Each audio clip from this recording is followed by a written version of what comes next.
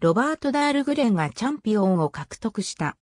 2019TCR スカンジナビアツーリングカー選手権はスカンジナビアツーリングカー選手権シーズンの9年目のシーズンであり、国際的に認められた TCR 方式では4年目、新しいプロモーターを備えた最初のシーズンであった。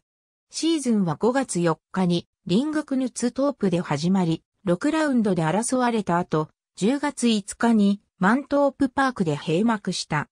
オフシーズン中、スウェーデンのモータースポーツの国家統治機関である、スフェンスカビルスポートフォバンデットは、2019年2月6日に、スカンジナビアツーリングカー選手権の推進を担当したストコーキャブが破産を宣言したことを知らされました。TCR スカンジナビアシリーズ AB は、サーキットと SBF と協力して、シリーズのプロモーターを引き継ぎました。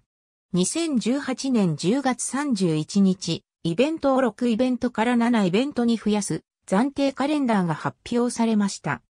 デビューするシレフタよ、ドライブセンターで確認された真夜中の太陽レースで5つのイベントが確認されました。アンデルストープレースウェイは2018年11月8日のチャンピオンシップの第2ラウンドとして確認されました。